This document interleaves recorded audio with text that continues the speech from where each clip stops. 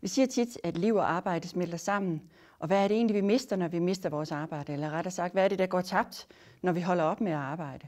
Lad os prøve at se på de bånd, vi egentlig knytter i livet gennem det at have et arbejde.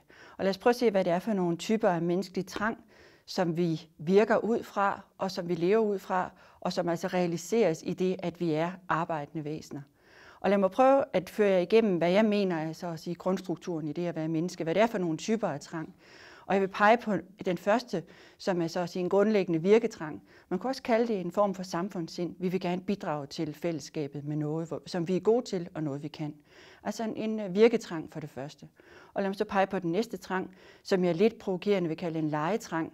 Altså det, at vi er legende væsener, man kunne også kalde det en udviklingstrang. Vi vil gerne udvikle os, vi vil gerne flytte os, vi vil gerne udfordre os, vi vil gerne prøve noget nyt. Og så den sidste, som vi vil kalde en egentlig fællesskabstrang. Altså vi har lyst til at smitte sammen med andre, at knytte nogle tætte bånd, også nogle emotionelle, altså nogle følelsesmæssige bånd. Det er faktisk også noget, vi lever ud på arbejde.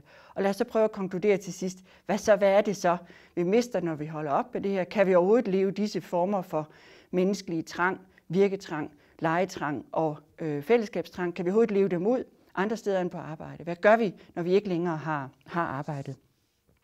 Lad os prøve at begynde med den, med den øh, første, altså det jeg kalder, med et stort ord kalder samfundssind. Vi vil faktisk gerne gøre noget for et, øh, et fællesskab. Vi, har et vi yder et bidrag, vi har en funktion, vi har en rolle, og vi bruger de kompetencer, vi har. Der er brug for det, vi kan. Man kan sige, at vi, vi er sjældent uerstattelige, når vi har nogle bestemte kompetencer. Der, vi er hyret ind på en bestemt plads i virksomheden til måske at være undervise i et bestemt fag. Vi bliver ansat som lærer i en folkeskole, fordi vi har de og de linjer med fra seminaret, fordi vi, vi, øh, vi har læst nogle bestemte bøger og kan noget bestemt, vi forstår at undervise. Og hvis ikke vi var der, så ville en anden tage vores plads. Men alligevel er det sådan, hvad skal man sige, der er livsopfyldelse og lykke og stor tilfredsstillelse ved at bruge sin kunde, at fylde en plads ud, og, og på en vis måde føle sig uundværlig, fordi hvis ikke jeg møder op, så, så er der nogle elever, der ikke får undervisning, eller så er der nogle opgaver, der ikke, der ikke bliver løst. Så på den måde, øh, man kan sige, vi er ikke kun vores, øh, vores bidrag til fællesskabet, men det er rart at kunne yde et, et, øh, et sådan bidrag. Står man uden for arbejdet, så kan det være svært at, så at sige, demonstrere sit samfundssind. Altså at man gerne vil bidrage med noget, gerne vil fylde en, fylde en bestemt plads ud. Så det, at andre har, har brug for en, fordi man har en kunde og nogle kompetencer, er meget værdifuldt. Så kan man selvfølgelig sige, der hvor, hvor det kan begynde at blive vanskeligt, der hvor man ikke længere har adgang til de samme ressourcer. Eller der hvor ens erfaring og ens kunde på en eller anden måde ikke helt passer til den sammenhæng, som man er stillet i. Altså ens virksomhed eller den skole, man underviser på, kan flytte sig så meget. Alle, andres lærer, alle andre lærers forståelse af, hvad god undervisning er, kan flytte sig. Ens fag kan blive så at sige nedprioriteret. Så, så der kan ske noget sådan, at man har de samme, den samme kunde og kompetencer, man har adgang til sine egne ressourcer, men der er ikke længere så stor, så stor brug for det. Og så kan det være, så at sige, vanskeligt at på den måde at, at opleve den levende udfoldelse af den grundlæggende virketrang, behovet for at bruge sin kunde og sine talenter og sine kompetencer. Men lad os prøve at se det næste, som er sådan en, øh, en, en, en sjovere størrelse, som har med det her med, med legetrangen eller hvad skal man sige, også udviklingstrang. Der er nogen, der siger, at det også er blevet en udviklingstvang, altså at man forlanger af os, at vi bestandig er på vej, når vi er på arbejde. At, øh, at vi vil noget nyt, vi rykker et nyt sted hen i vores karriere, eller vi vil sammen med virksomheden eller sammen med opgaven komme til det helt nye. Vi vil have, hvad vi kalder det spændende, de spændende opgaver, vil vi gerne være med i. Men altså, man må sige, at at jeg tror, at mennesker er en sådan størrelse, og sådan har, har man i filosofien, som er min baggrund, sådan har man i filosofien også tænkt om det, at vi er mennesker, som så at sige fødes ufærdige, og på den måde er undervejs, og egentlig har en forventning om, at de opgaver, vi møder, de mennesker, vi støder ind i, de omgivelser, vi, vi, vi stilles i, at de stiller nogle udfordringer til os, så vi opdager bestandig nye sider af os selv. Det, det er ikke sikkert, at vi er født modige. Det kan være, at vi er født, født generet eller en lille smule frygtsomme. Men så er det faktisk arbejdet et af de steder, hvor vi pludselig skal tage ordet i en stor forsamling, eller vi skal skrive øh, en, en sammenhængende tekst, selvom det egentlig ikke er vores, vores øh, største force. Og så må vi kaste os ud i det og håbe, at der med opgaven er en eller anden form for respons. Altså vi prøver os frem, noget lykkes, og så prøver man sig videre frem af, af den vej. Så her har vi altså, den her trang kommer bedst til udfoldelse, hvis vi føler os nogenlunde trygge i det. Altså at vi ikke er totalt ude på et usikkerhedens hav, at, at der er nogen, der redder os, hvis vi fuldstændig fejler, men altså at vi, vi skubbes bestandigt lidt, lidt nye steder hen. Man kan sige, et, et af de branchers øh, arbejdsliv, som jeg har kigget på, er revisorers. Og revisorer, nogen, nogle revisorer kommer meget tidligt ind i den branche, kommer ind som nogle ret forholdsvis forsigtige mennesker, som godt kan lide tal, men som er usikre på, hvordan de vil agere i en social sammenhæng. De står der med en kunde for første gang, eller står med en stor, en stor virksomhed, og på en eller anden måde skal tage, skal tage tæten, føre, føre, folk, føre dem, de, de snakker med et, et, øh, et sted hen, så er det faktisk en stor udfordring, og man kommer til at svede, men bagefter har man så at sige prøvet sig selv, afprøvet sig selv, og føler, at man har, man har rykket sig selv et nyt sted hen. Sådan, sådan en, en øh, virke, eller ikke en virketrang, men en legetrang, en udviklingstrang, har vi altså arbejdet også til at, at, øh, at tilfredsstille hos os. Og endelig det, jeg kaldte fællesskabstrang, eller en form for, det er også en form for at smelte sammen med. Det er ofte noget forholdsvis følelsesmæssigt. Altså at man føler sig i sit rette element. At man føler, at, at der er en slags mennesker, som man svinger godt med, øh, og som man sådan set tit, de, de er blot ens kolleger, eller de er blot dem, man arbejder for, de er eleverne, eller de er klienterne, eller de er borgerne. Men altså, man, man kærer sig om dem, man, man kan godt, man bryder sig om dem, og, og føler, at, øh, at det er nogle mennesker, som man, man holder af at være, at være sammen med, og betyde, betyde noget for.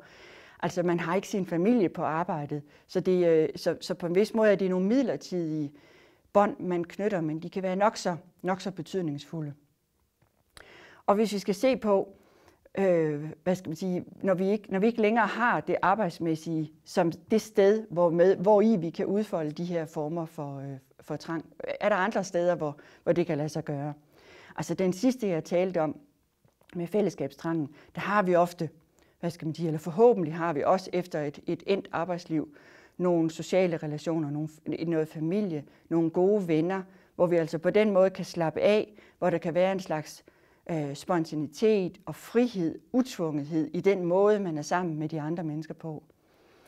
Øhm, man kan sige, når vi er på arbejde, så, så, øh, så, så forlanger vi egentlig, at hvis ikke man kan lide lugten i bageriet, hvis man ikke bryder sig om stemningen, hvis man ikke kan se humoren i det, øh, som de andre siger, så, så, så øh, isolerer man sig og finder ret hurtigt et nyt arbejde. Men man kan sige, at de sociale sammenhænge, man uden for arbejdet øh, færdes i, der har man jo i høj grad været med til at forme og vælge, og så at sige, øh, også valgt ud på en, på, en, på, en, på en måde, som også er bestemt mere af ens følelser, og som på den måde rummer en, en øh, rummer et form for, for, dybt, for dybt valg, som man, kan, som man med god ret kan, kan stå ved resten, resten af livet. Og, og den første, det med at have samfundssind, det er virkelig at føle, at man bliver brugt, at nogen har, har brug for en. Kan, kan, det, kan det så at sige komme til udfoldelse? Kan vi leve, kan, kan vi sige blot ved at være borger i et demokratisk samfund, for man holder ikke op med at stemme, man holder ikke op med at være aktiv, man holder måske heller ikke op med at give en frivillig indsats, når man ikke længere har et, øh, et lønnet arbejde. Kan, kan, kan den der, hvad jeg kaldte virketrangen øh, og samfundssindet, kan det komme til udfoldelse uden for arbejdet? Det er ikke sikkert, det kan det, men jeg mener, at et, et, øh, et, senior, et seniorliv eller livet efter arbejdet, det kan føles nok så, hvad skal man sige, tilfredsstillende på den måde, man kan se tilbage på et liv, hvor i man har bidraget. Man kan, man kan se tilbage, hvis man kan se tilbage og sige, jeg har gjort mit, altså jeg har virkelig øh, været der og ydet en, en, øh, et stort bidrag. Jeg har, jeg, har, jeg har taget mine, jeg har taget store opgaver på mig og har, har løftet det, jeg kunne. Jeg har brugt mig selv, mine kompetencer, mine talenter, min kunde. Så kan det være nok så lykkeligt at kunne se, at kunne se tilbage på. Det er snarere der, hvis det, hvis det ikke er tydeligt for en, at man egentlig har, at det lykkes at finde den, den rette hylde, øh, og at man har kunnet yde det bidrag. Så kan det være svært pludselig at, øh, hvad skal man sige, at slappe af og, og sige, at, at, at jeg, har, jeg, har gjort, jeg har gjort mit. Men jeg vil egentlig sige, nok så, det er nok så meget den midterste, altså det jeg kaldte legetrangen eller udviklingstrangen, det er nok så meget den, man kunne, man kan sige, at man måske i god tid skal tænke over, hvordan den kan øh, tages med over i et arbejde, hvor man altså ikke udfordrer os, har nye opgaver. Altså, hvordan kan man give sig selv spændende opgaver i livet efter arbejdet? Altså, og, og jeg tror, man må, man må sige, at Øh, vi holder ikke op med at være undervejs. Vi holder ikke op med, med at ville lære. Vi holder ikke op med at ville opdage nye sider af tilværelsen, ligesom udvide vores horisont. Det holder ikke op med, at vi holder op med, med at arbejde. Og der er det, altså tror jeg, at, at noget af, et af de steder, hvor det kan komme til udfoldelse, hvis man har fysikken i orden stadigvæk, er jo ved at rejse, altså ved at se simpelthen øh, kulturer, som man ikke har haft, haft tid til at, at lære at kende. Altså man behøver ikke at tage væk en uge og så hjem igen, man kan blive længere, man kan blive længere væk. Øh, så på den måde er der et, et, øh, et eventyrligt øh, seniorliv, som på den måde, hvor man de, de, de færreste kommer, hvad skal man sige, upåvirket eller u, uændret tilbage fra en rejse og et møde med en ny kultur. Man kan også dyrke det i forfatterskaber, altså med romaner, ved at læse. Jeg tror, man må sige, at, at, øh, at seniorer er, er med, eller øh, er i hvert fald med til at, at, at, at sætte øh, salget af, af bøger i Danmark øh, kraftigt op. Det, det er, der kan være en, så at sige, en, en sult, og den øh, sult kan man jo leve helt anderledes ud, hvis man har, hvis man har bedre tid. Så altså, det er ikke nødvendigvis, at man ser, øh, at man ligesom flytter sig ved at se nye kulturer i et nyt kulturmøde, men det kan nok så meget også være at, at lære. For eksempel kan man som kvinde kaste over nogle mandlige forfatterskaber, så man så at sige lærer, lærer mænd at kende, som man aldrig har haft lejlighed til, blot ved at have mandlige kolleger. Altså der kan være på den måde, hvad skal man sige, psykologiske sider af tilværelsen, som, som, som er nye for en.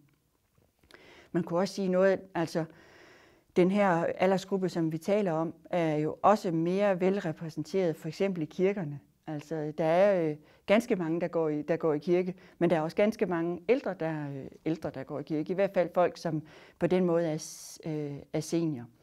Og, og kirken er så at sige også et sted for en type, øh, hvad skal man sige, hvor man udfordrer os tankemæssigt. Der kan være nogle, øh, nogle forestillinger, nogle idéer om, om livet, om døden og om fællesskabet, som, øh, øh, hvor man så at sige hver søndag med, med, med en ny prædiken kommer, bliver bragt lidt nye steder hen, ting man ikke har, har overvejet, så at sige sider af tilværelsen, som man møder. Det er selvfølgelig også der i det, den fase af livet, hvor man, hvor man øh, oplever tab.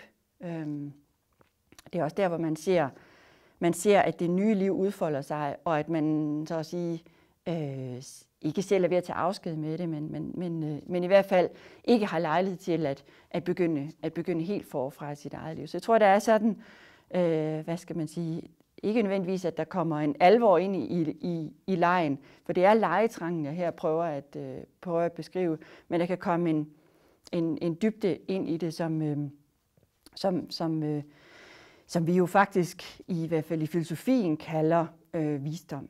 Altså der er en, der, den, den vise er ofte den, der har noget erfaring. Men det er ikke blot det at have, have gennemlevet mange ting. Det er nok så meget det at have en åbenhed for de mange måder, hvorpå livet kan udfolde sig. Så man kunne sige, øh, man kunne kalde det visdom, eller man kunne med den danske livsfilosof Harald Høfting kalde det den store humor.